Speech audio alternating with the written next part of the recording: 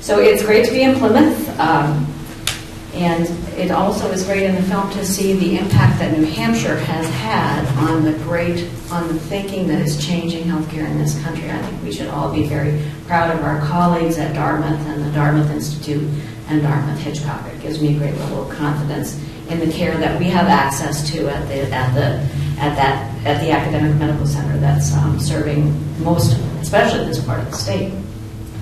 And uh, we have an exceptional panel here to share their thoughts with you, and, and then we're going to have time to take your questions. I see a lot of people who are also experts in this room, and we want to have time, plenty of time, for you to chime in about your community, about New Hampshire, and uh, to ask uh, questions of any of us, including, and we'll ask questions of you as well. So, as Don mentioned, um, I'm uh, Jeanne Ryer. I'm the director of the New Hampshire Citizens Health Initiative. And I want to also introduce my colleague, Holly Tutko. Would you please wave, Holly? And Holly uh, works with me on the initiative. Uh, we have a team that works out of Durham and Bow, and she's also a clinical assistant professor at UNH. So uh, she's a very valued colleague, and I'll talk about some of the work that she helps with uh, in a minute. So the initiative is a convener and a catalyst for health system change. We're trying to lead New Hampshire's healthcare system to what's called the triple aim, better health, better care, and lower cost for all of New Hampshire's residents. We bring people together, stakeholders, the public, business, to work on issues that are compelling and that everyone realizes they can't solve them alone. So among those things, and, and I think these will start to sound a little, some of them will sound a little familiar to you. Uh, we have right now, in fact, meeting right now, some of Fred's colleagues are meeting on what we call the Accountable Care Project. Some of them are also in the back of the room.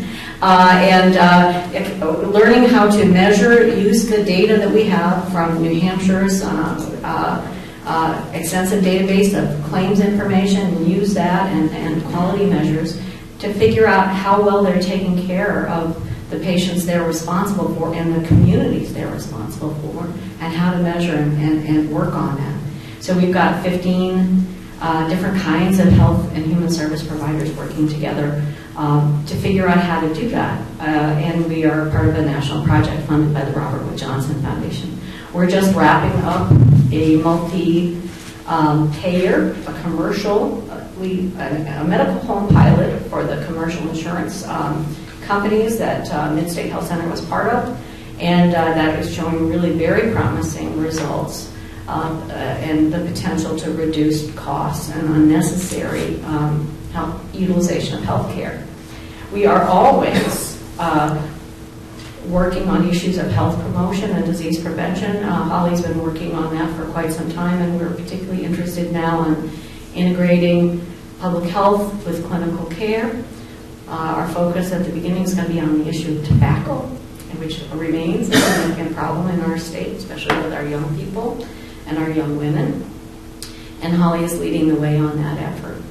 Our newest project is called the Roadmap for New Hampshire's Health. We'll be convening stakeholders, pulling together the data to show where New Hampshire's health is now, what our population looks like now, what it's going to look like in the future, and what our health and healthcare system are going to be looking like going forward. And then we can have, you know, conversations around the state about what we need to do to adapt to that future and possibly change some of the trajectories that we see coming. I live um, in Sandwich, which is in Carroll County, one county over, and the population projections for Sandwich are that by 2030, more than 50% of the residents, I mean, for Carroll County, the whole county, well, more than 50% of the residents will be over 65. I can tell you that Carroll County does not have the infrastructure to support a population that is aging at that rate. So um, I want to introduce our panelists. Um, and uh, first, Fred Kelsey.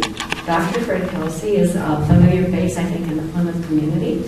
He's a board certified uh, internal medicine physician. He has uh, works now as a medical director at Midstate Health Center. And I don't want him to be a prophet without honoring his own land, so I need you to know that Fred and Midstate have been enormously helpful to the initiative both on the Accountable Care Project, where he served on uh, the first set of clinical committees, and now he's working with us on figuring out what to measure and how to measure it and how to report it.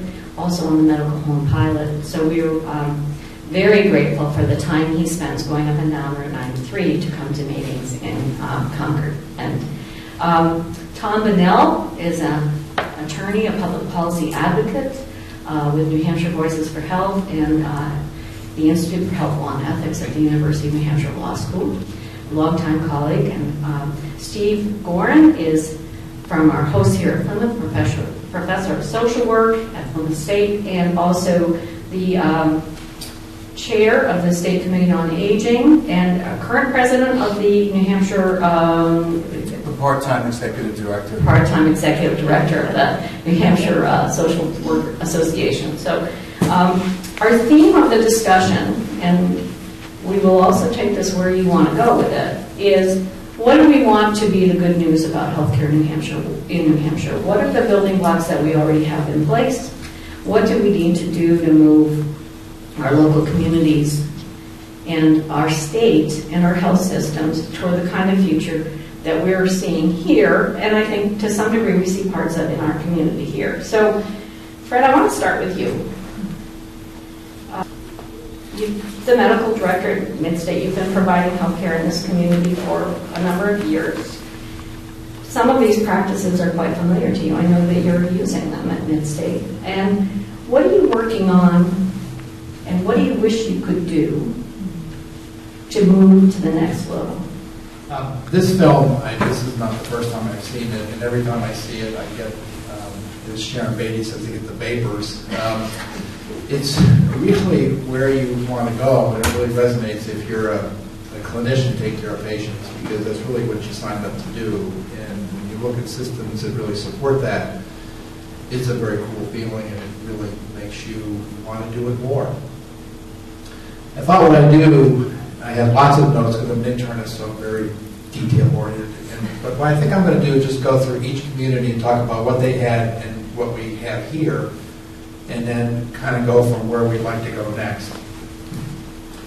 Grand Junction, um, I would love a minute fly on the wall to see how they pulled that off. Um, talk about lots of different, you know, tribes, if you will, vying for different things, and they come together 20 years ago to basically build an ACO, which is what they did.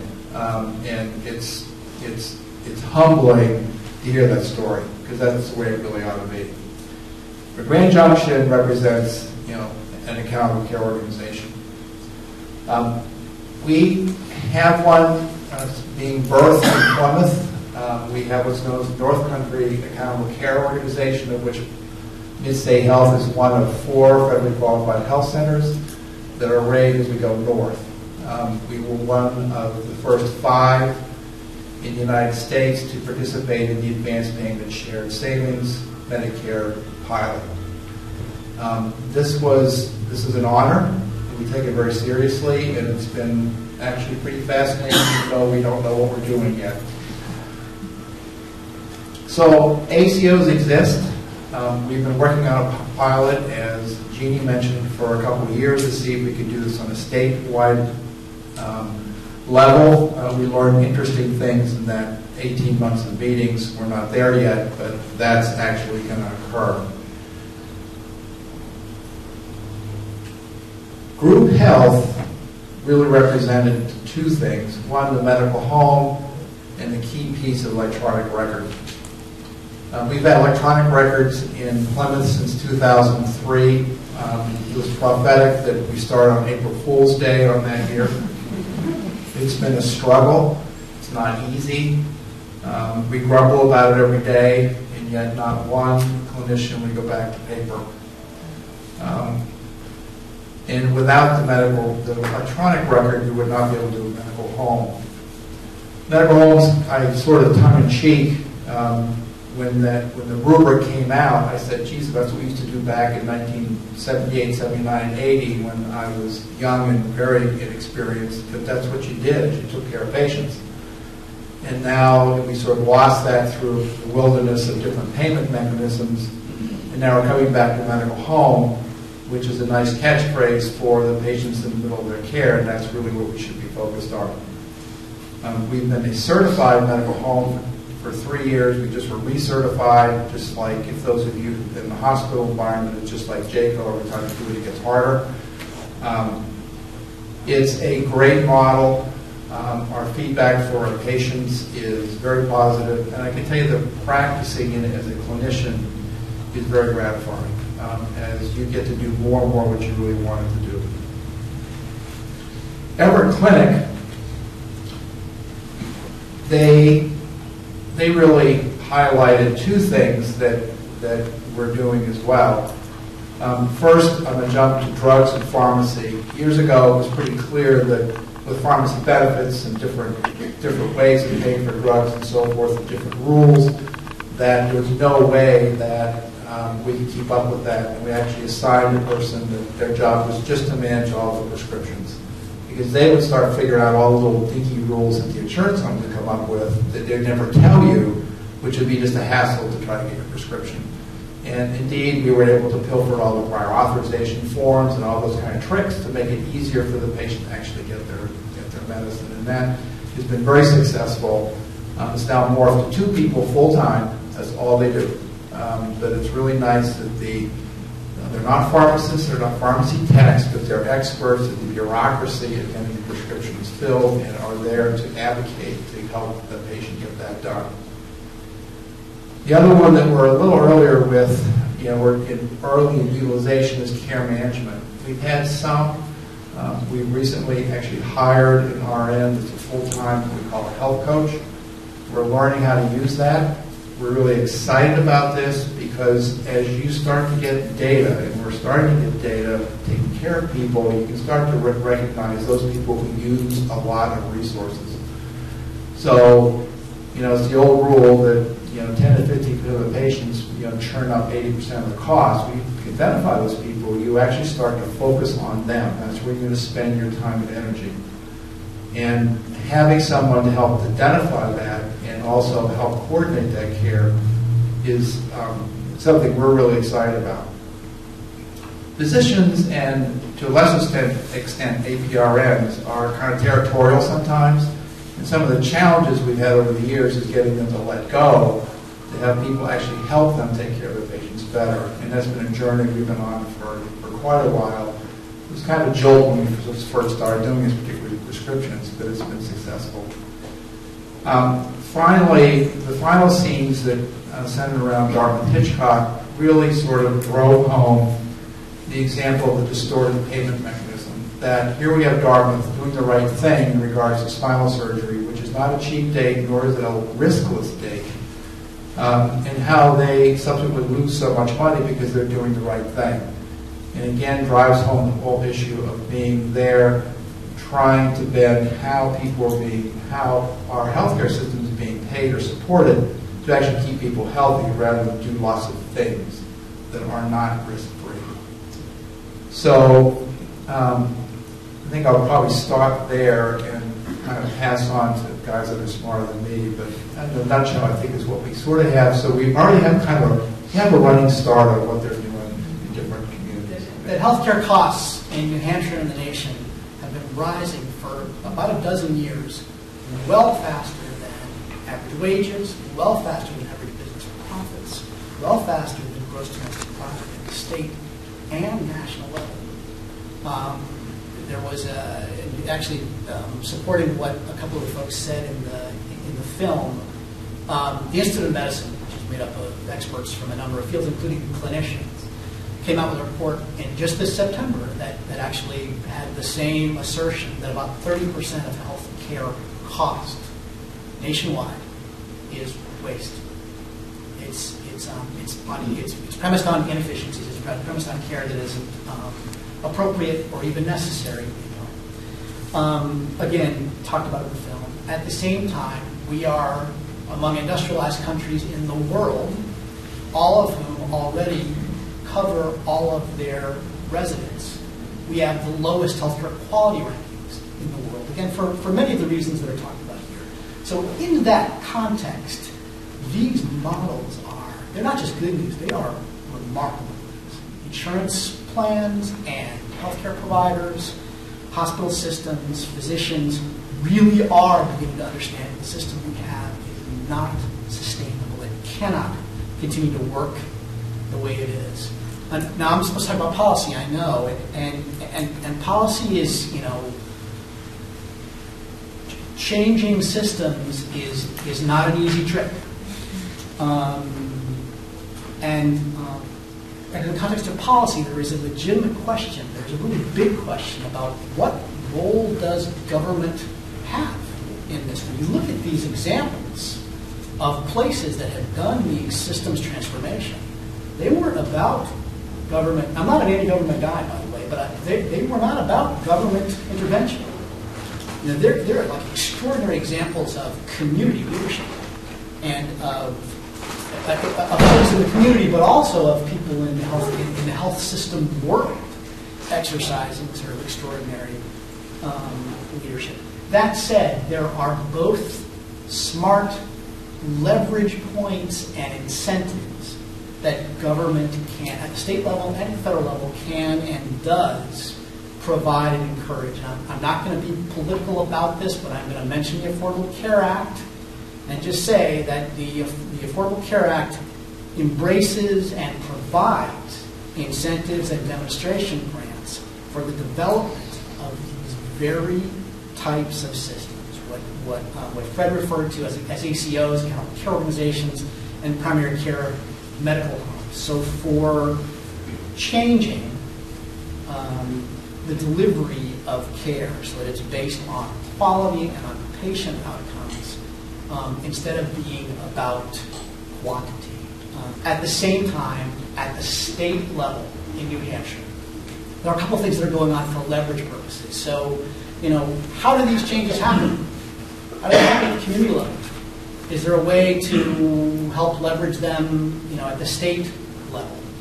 And New Hampshire's insurance department and Department of Health and Human Services have, have, have undertaken grant-funded, federally grant-funded work um, to try to increase transparency around healthcare costs, so that everyone can have a better understanding of how much does all this stuff cost? What parts of it co- cost what? Of health insurance premiums. Okay, we can find out how much of it is profit for health insurance companies and how much of it is administrative cost for health insurance companies. But how much of it is health care cost?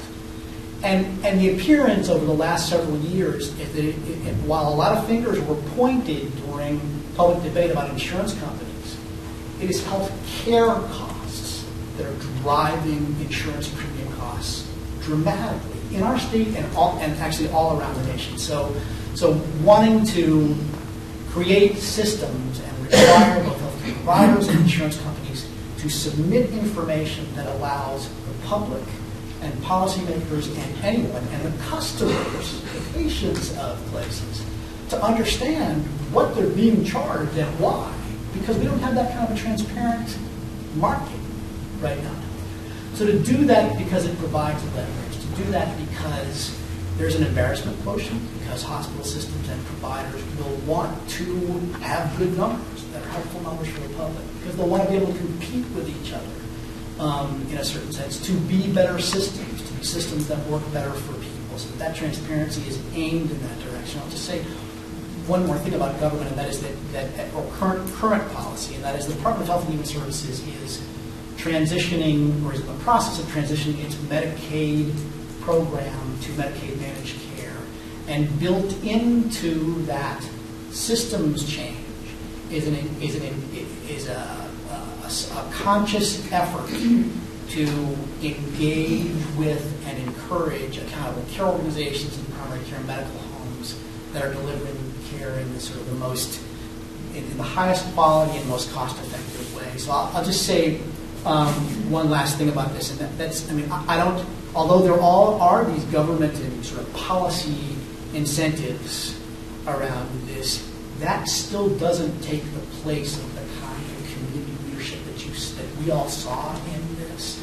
And it's not just about physicians and hospital systems and healthcare providers. It's about all of us. It's about community members engaging in dialogue with managers and board members of those organizations. First of all, I agree with the point you made was about Carroll County. That's something the the those of us on the State Committee on Aging are very concerned about, that we don't have um, the infrastructure within counties. Even though many areas, um, over the years, many areas in New Hampshire have gone to le- great lengths often to attract uh, sort of younger, older people, younger, older, affluent people, I should say, into communities. Um, I don't think they've taken into account that these younger, young, old, affluent people will become old, old at some point, and that the facilities to address the needs of those people um, probably won't be there. So that is one thing they're, they're concerned, we're concerned about. I, I wanted to pick up on a, a few things um, Tom said. I may shorten my presentation because he addressed some of them, but, and I, I'd like to give time for comment from the audience and um, questions. Uh, uh, my reaction in, in watching this film, and this is the third time that I've seen it, uh, was to be both excited and sober. I mean, I found it exciting and sobering. Um, and I'm someone, I guess, also who's been involved in healthcare reform efforts for many years. Uh, going way back, I served on President Clinton's healthcare task force for several years in the 1990s. I, I chaired a group uh, called the New Hampshire Healthcare Coalition, which was a broad coalition of organizations that tried to raise the issue of of, of healthcare reform. And uh, now I'm on the state committee, chair of the state committee on aging, uh, as you mentioned.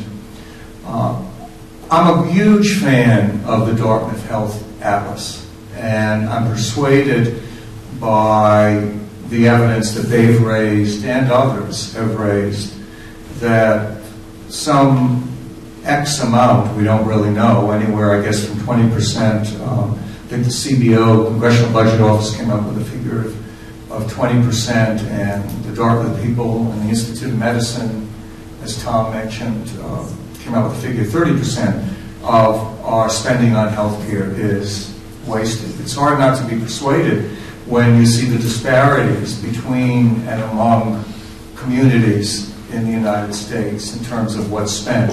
And you see that they have the same outcomes. Uh, there were some studies that the, the Dartmouth people have done showing that um, there are differences within the same hospital systems between hospitals in terms of what they spend on the exact same diagnoses, and they have very different outcomes. There have been, there have been some criticisms of the Dartmouth Health Atlas and, and the Dartmouth work. I think they've responded to them, and anybody who's interested, I'd encourage to go to their site. It's, it's pretty user friendly, and um, I think uh, they rapidly respond to, to criticism. So I, I do think uh, a, a, more adequate healthcare system is within reach, given that we, we waste so much money within our healthcare system. And I think Tom is absolutely right in, in terms of the figures he cited about where the United States stands in the world, and I, I think it's particularly something we should, what, um, be embarrassed about, given the amount of money we spend on health care. The question I have, and I guess it's the sobering thing, again, trying not to be political here, um, but the sobering thing for me is how do we get to a broad national system that looks like some of the uh, examples and role models, I guess that's what they really are, that we, we saw in this film. How do we reorganize our, our deliver, delivery system and, and persuade providers to change practice patterns? Um, how do all of us, um, I can see how we can do it in some communities, but I wonder how we do it across the country. How do we imitate the low cost high quality areas uh, that we, we saw in this film. Now, New Hampshire isn't interesting because we do have some very high quality areas in the state, but as, as Tom, I think, alluded to, we do have high cost areas and many of the low, many of the high-quality areas are also high cost. So I think that's an issue that needs to be addressed. I'm not trying to rain, I guess, on this parade, to use your expression, but, but I think um, a lot of this will be a long haul. It's been a long haul. It was, it already has been a long haul. It was Theodore Roosevelt who first uh, raised the issue of national health insurance in 1912. That's how, how far back people have been struggling over this issue. I, I think we really do have a long haul. Um, and then there's a larger question, which I think Tom somewhat allude, alluded to, that I'll just mention. Um, I think there's the larger issue, uh, and I don't know how we deal with this, but the larger issue of why are so many people in such poor health in this country, often compared uh, to other countries. There's a whole, there's a plethora of evidence, and again, I say this, I try to say this in the most non-political way, that inequality plays a key role in the health of populations. And I think, um, I'll just say it quickly, but I think we have to keep in mind um, that we, when we look at the industrialized countries, um, increasingly we're the most unequal of the industrialized countries. And if this evidence, uh, primarily from Europe and Canada, uh, is true, um, it doesn't bode well for our country. I think that's a larger issue that, that we have to deal with.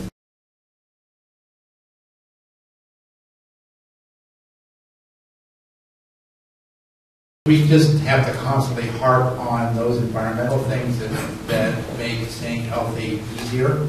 Um, a good example of New Hampshire.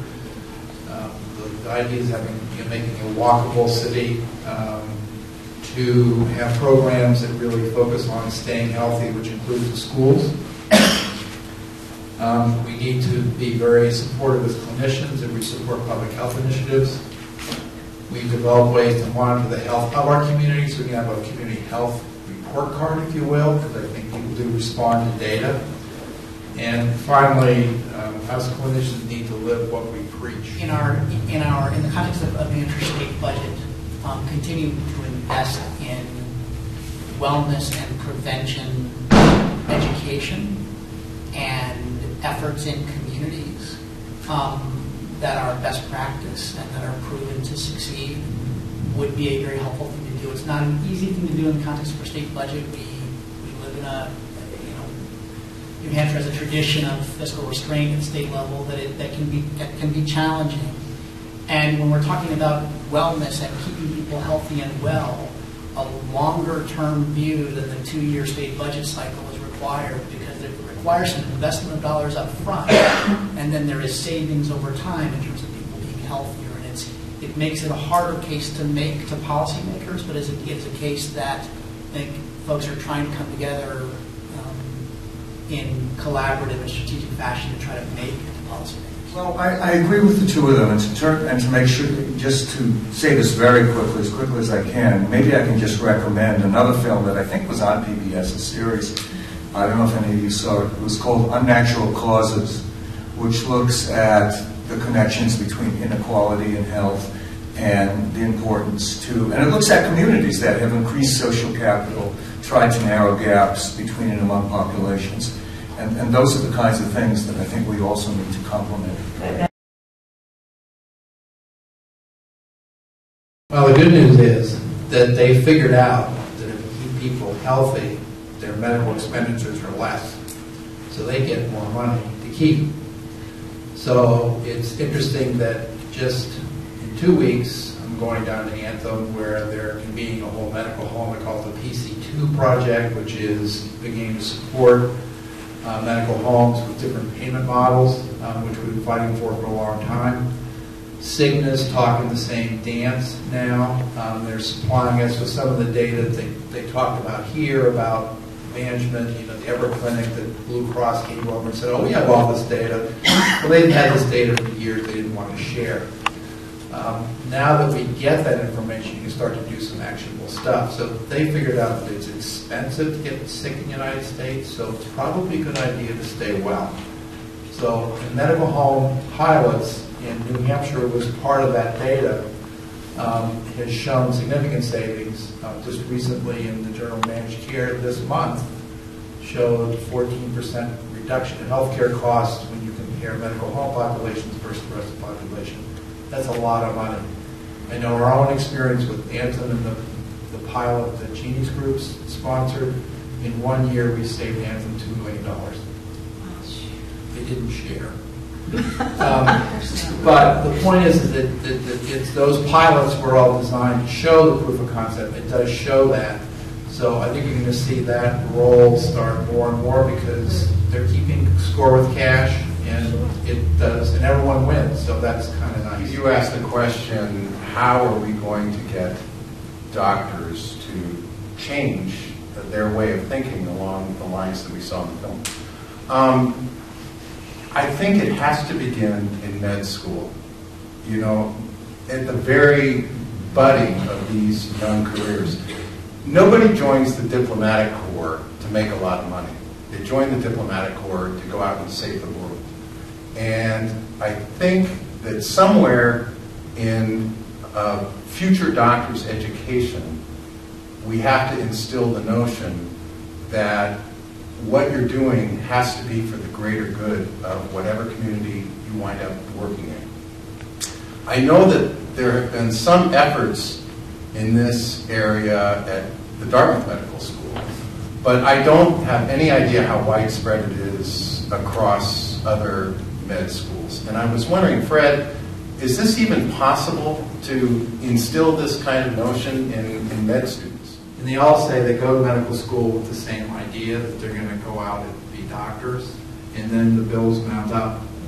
And they realize that they financially cannot enter, a- you know, the, the slice of, of medical care, you know, especially primary care, and be able to meet those, those, those bills. So a lot come in and they sheepishly tell me when I ask them, well, what do you want to do with your life? And they say, well, I'm going to be a surgeon, I'm going to be a radiologist, ophthalmologist. I really don't want to do that, but I need the money. Yeah. Um, That's pretty universal. Um, And we tried to sway the real smart ones, that we would need smart guys like you on the front line. And some do it, they do it because it's a calling. Um, And others can't because they can't afford it.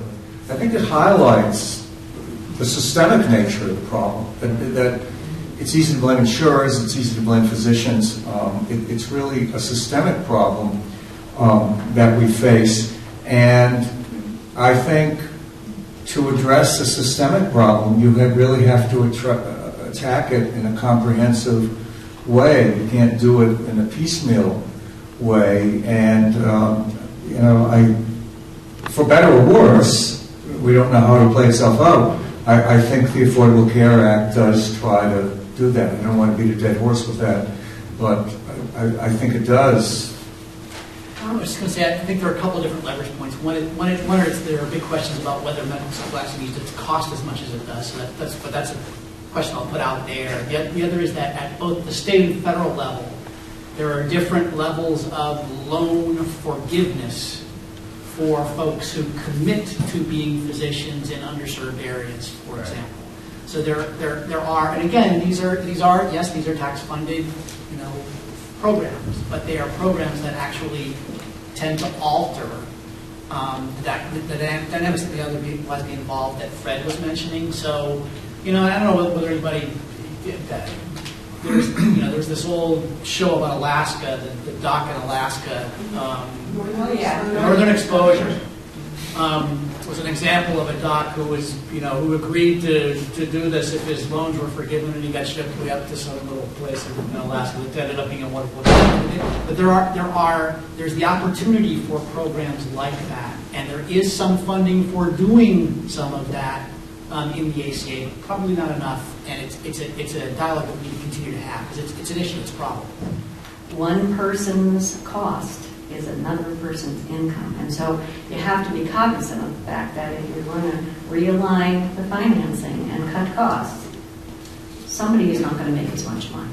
I work here at Plymouth State for the Center for Rural Partnerships and the Health and Social Welfare Coordinator, but I'm also a CAGS student in clinical mental health here at Plymouth State. So I'm in the process of transitioning, uh, making a mid-career change. So I have, I have a couple of observations um, uh, with my mental health hat on, and that is, it strikes me that mental health is not being mentioned um, in this whole conversation. I would love to hear your thoughts as it relates to integrated primary care, um, but also thinking about the aging of the graying of New Hampshire, and particularly in the rural areas of New Hampshire.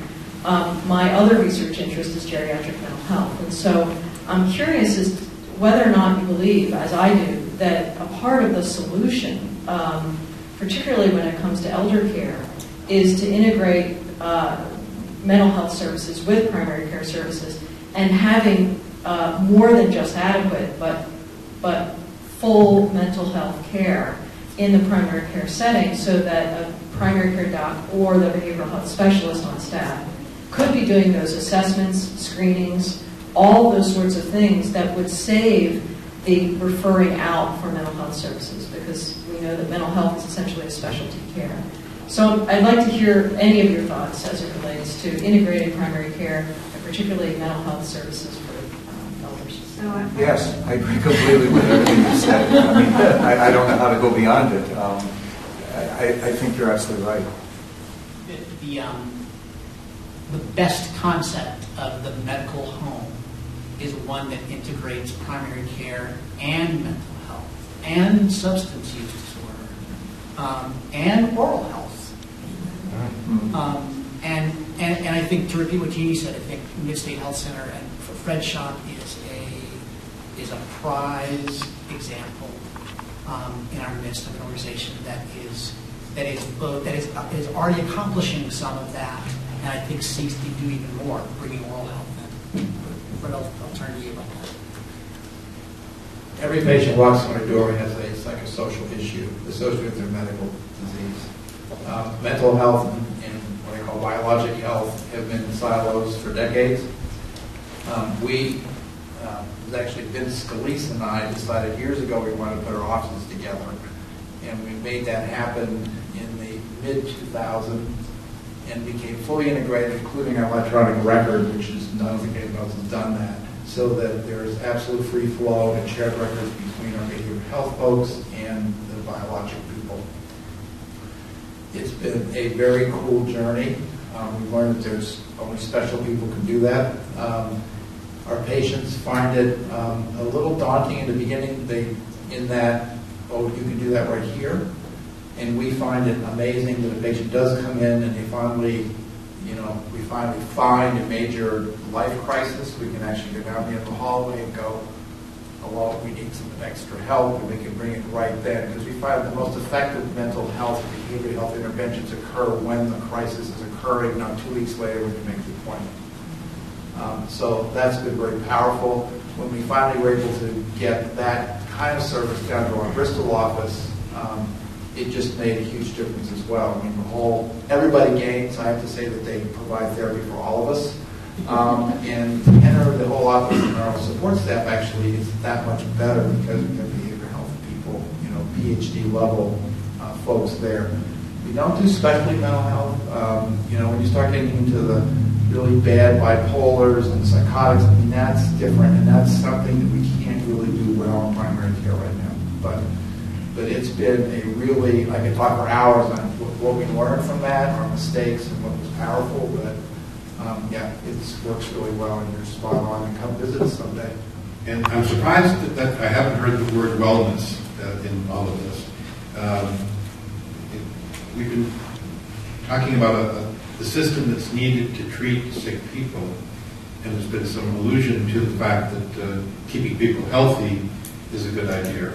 Uh, But in point of fact, uh, it's the culture that we have, that we're, that we live in in America that contributes to the demand and the expectations and the fact that uh, people have a sense in our culture apparently that, that uh, they can live a life that, that, that maybe have consequences that can be cured rather than, than living a life uh, that, that would avoid these consequences to begin with. And uh, drug takers, which are very high in New Hampshire.